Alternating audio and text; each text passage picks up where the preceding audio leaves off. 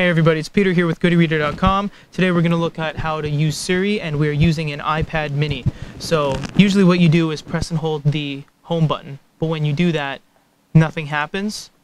We've had a lot of problems uh, with that, so what you'd want to do is go to Settings, General, Siri, and make sure it's on, and then click Enable.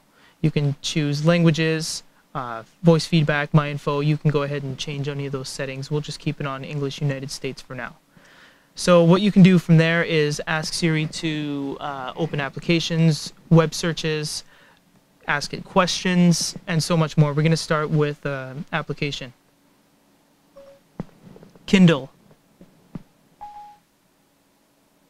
And it opens Kindle right away, which is the Kindle app on our device. Next, we're going to do a Google search.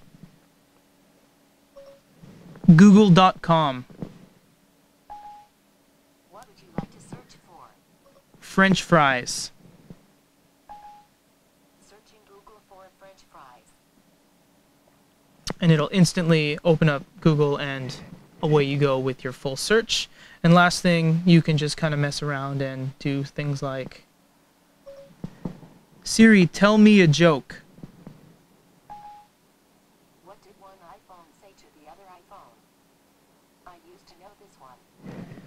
So, not the funniest of jokes, but uh, you can use it for things like that and just ask it questions and so forth. So, um, this has just been a brief tutorial on how to use Siri on iPad mini. Remember, if you're ever uh, locked out of using Siri, when you press and hold the home button and nothing happens, go into Settings, General, Siri, and then you can enable or disable Siri along with changing uh, different languages to uh, many other languages. So, there you have it. For uh, other videos, you can visit our YouTube channel at youtube.com slash goodereader.